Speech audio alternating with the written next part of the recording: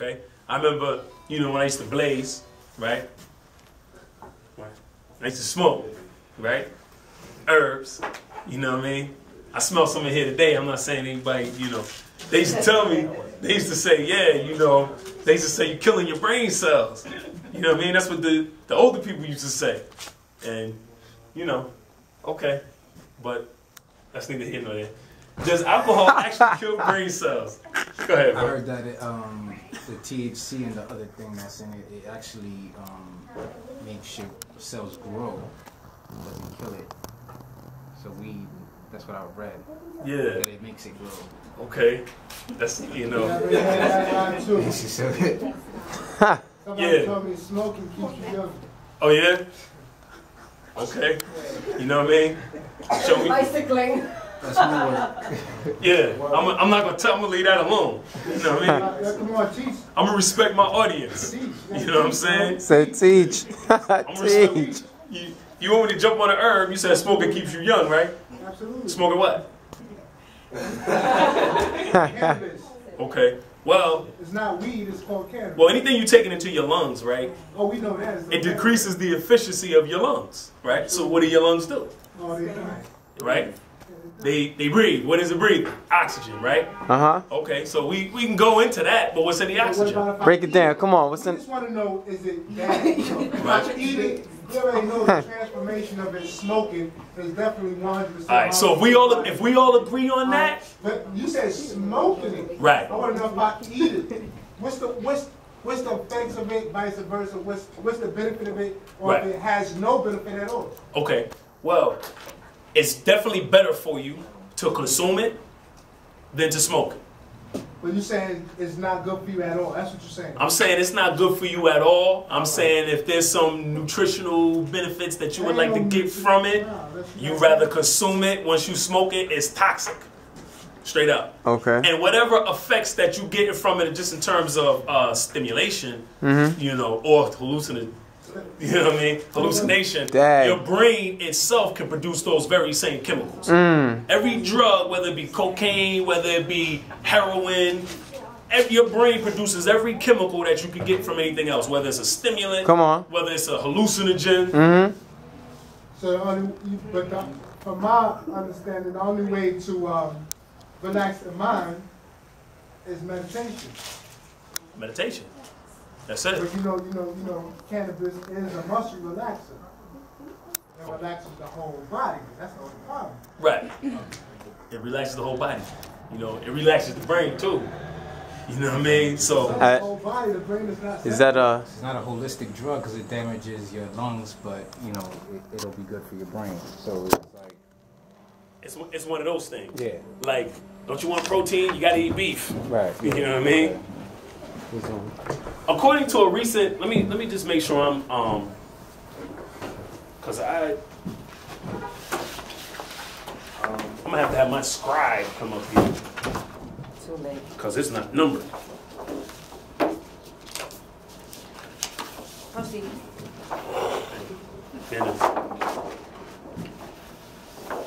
You done with that page? I'm at the end. I would like to make a smooth transition into it. It's recording. Here you go. Here you go. Thank you. That's where I was. All right. Um, does alcohol actually kill brain cells? According to a recent article in Scientific American Mind, drinking alcohol does not kill brain cells, although it can damage them. Ah, so they're saying it doesn't kill it, it just damages them. Okay. Let's see. Did you do um this side here? Yeah, this is not it. No, this one. All right, here we go. Try to find the orders. Specifically, it can damage the dendrites of neurons. Dendrites are specialized protrusions of neurons which bring information into the cell body. Thus, damaging the dendrites can cause problems in the relaying of information between the brain cells. You know, and we've seen that. I don't know if you can uh, sing that song right quick, Earth, you know, for the babies. I'll do it for the children. Okay. Um, Let's see. if I remember all of it, it's We that- have a song. Use your dendrites, use your dendrites to connect throughout your brain. Take an info, analyze it, grow some new ones unrestrained. Hey. Act and send out neurotransmitters through the dendrites all around. Across the synapse jumps the impulse, new ideas can now abound. Drink some alcohol and you damage it. Now you can't. You know we gotta add that. You know what I'm saying? So we think we. I mean, we think we be all right with a lot of stuff we do because we're trained like that in this society. Particularly, you know, you heavy um, under television and music, and you know, you think it's all good. But again, we're talking about cells. We're talking about electromagnetic fields. We're talking about information being restricted from moving as swiftly as possible. And we wonder why we're dysfunctional as a people, as a community, you know, as a nation, completely dysfunctional. You know, substance abuse has damaged us in ways that we can't even imagine. Thus, the damaging the dendrites can cause problems in the relaying of information between the brain cells. This damage particularly occurs in the cerebellum, which is the part of the brain concerned with learning and motor coordination. According to Dr. Pentney, however, this damage is not permanent, yet it can cause changes in neural structure. So, they're saying it's not permanent, but can cause changes in neural structure. I'll let you decide what that means to you. But to me, that's saying it's changing my brain. You know what I mean? My brain that was grown naturally through nature, these different substances are actually changing my brain. Okay, not only is it stopping it from functioning at its highest efficiency, but it's changing my brain itself. Pentney also stresses that losing entire brain cells isn't necessary to disrupt brain function. In fact, brain cell damage will also have a disrupting effect. So perhaps the question we should really be asking is not does alcohol kill brain cells, but what damage does drinking alcohol do to the brain? Hmm. AB, ABC Science. Dr. Karl's Great Moments in Science. Why does drinking alcohol cause dehydration?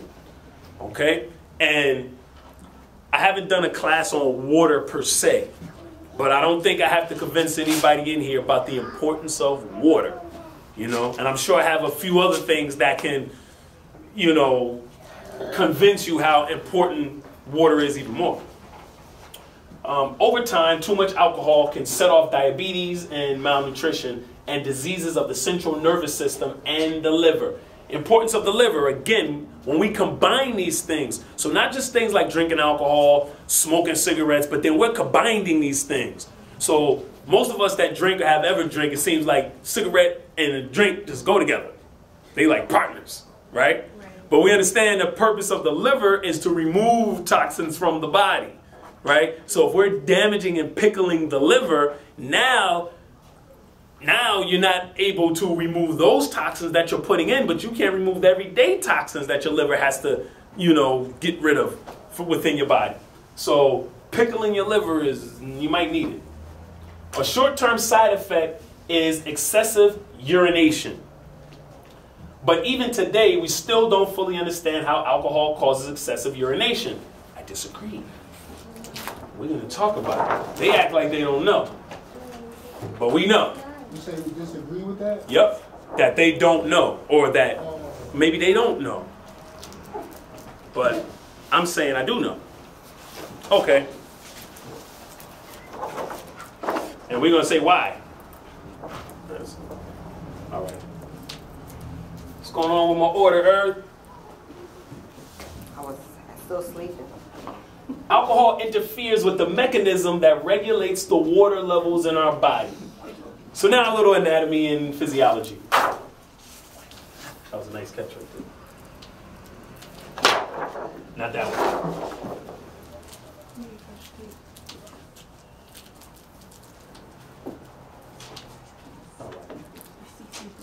Next week, maybe the PowerPoint. You have, was the tape? Okay. In your brain is a small gland called the pituitary gland. Is divided into two sections, the front and the back.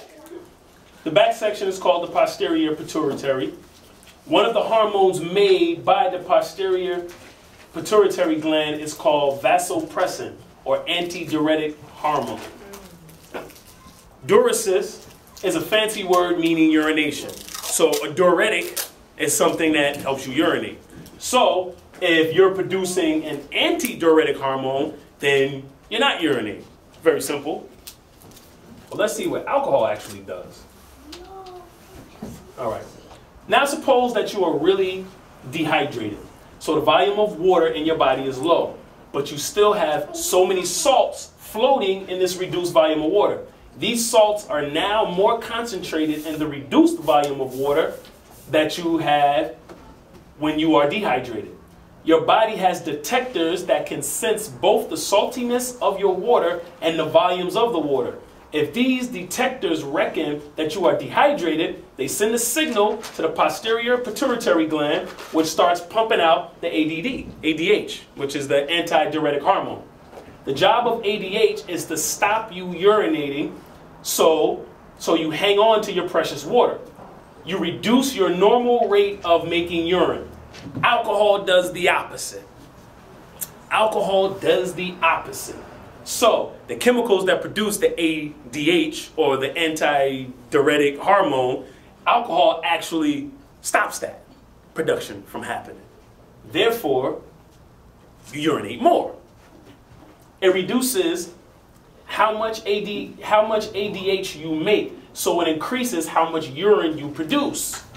Now, when they was talking about not knowing why it does this, if we understand alcohol, we understand what's actually in the urine, right? Your urea is nitrogen. Simple as that. It's nitrogen. So, the alcohol, which is going to produce nitrogen in the body, right? Your urea cycle is what helps rid the nitrogen out of your body. And of course, we as original people, it affects us even more because we do not want high levels of nitrogen in our body.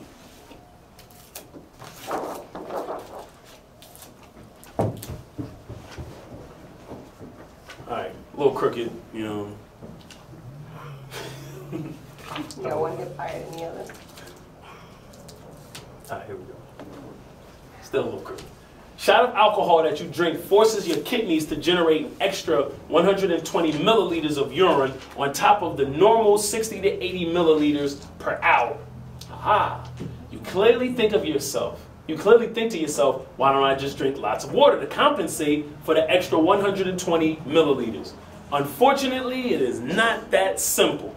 You'll hang on to only about half or a third of the extra water you drink most of it will go out it go out in your urine and you'll still end up dehydrated at the end of the night of drinking which is very true because when I was at uh, Surge Gym, which is on, you know, was on 145th and Lenox, where the House of Justice is now, Al Sharpton, I was, you know, in there with bodybuilders. I managed the gym, and everybody was getting big, right? So I was like, all right, you know, I got to start getting big. You know, I'm lifting weights, you know, so I started drinking all the protein shakes.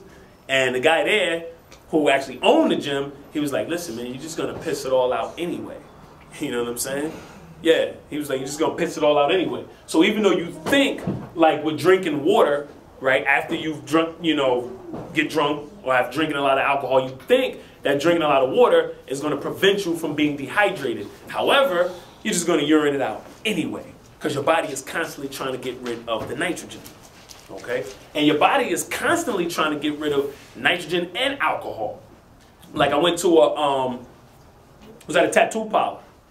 And most people think, I don't want to say most people, but according to the tattooist, most people think, you know, you come in drunk, that kind of helps the effect. And they, they don't advise you to get your tattoo while being drunk. Because first of all, the ink that you're putting into your system, your body is already trying to push it out. Your blood is already trying to push it out. And I've seen certain tattoos and you lose a lot of the ink, you know, within the first maybe 24 hours because that's your blood pushing out the toxins. Okay? So they tell you when you drink alcohol, your body actually is pushing out more toxins, thus you're losing more of the ink of the tattoo. Okay? So that's just another way showing you that your body is constantly trying to get rid of this stuff. And it's nitrogen. Mind you, you'll be a bit better off than if you didn't drink any extra water at all. Right? Common sense? But you'll still be dehydrated. Could this extra urination caused by alcohol consumption be the origin of the old Aussie expression, a night on the piss? And maybe Europeans are saying that they don't know why this is happening because they're more compatible to nitrogen. They are more nitrogen based. Okay? So they're like, you know, what's the problem? And that's why it doesn't affect them as much. It affects us greater. Two reasons. Of course, the melanin, which absorbs toxins and then re releases it throughout the system. And then the nitrogen that it produces in the body. And your urea cycle, you know, you go and do some homework on urine and urea. It's the body trying to get rid of nitrogen. Okay? So the fact that they didn't put those two things together, it can only be a nitrogen based individual to not have put those two things together.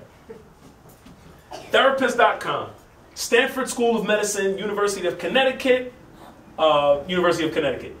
Even mild dehydration can alter mood. Okay? Mild dehydration symptoms. And these are very simple things that we keep in mind as we on our everyday travels. These are very simple things. A lot of people think that they're suffering from great diseases and um, depressions and taking all types of pills. And a lot of times you're just dehydrated. You just need some water. You know what I mean? And then even worse, we drinking all types of, our body is telling us we're thirsty, and then we're going for something that's going to make us more dehydrated. We running to get a Pepsi.